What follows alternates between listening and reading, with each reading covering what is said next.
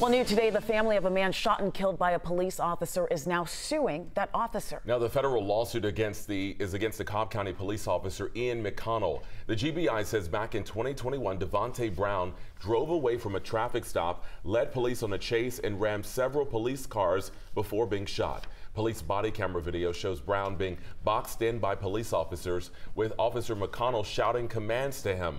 Attorneys for Brown's family say the officer used excessive force when he fired into the car dozens of times, at least a dozen times, they say, hitting Brown. The facts are as they are. Devonte Brown was boxed in. Um, he was posing no threats to others or officers. He had no way of um, leaving the scene. At, at the point in which he was shot by Mr. McConnell, he was captured.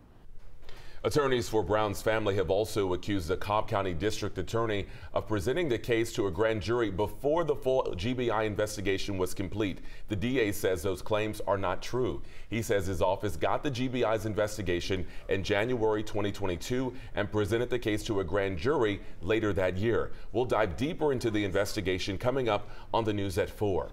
Also, just hours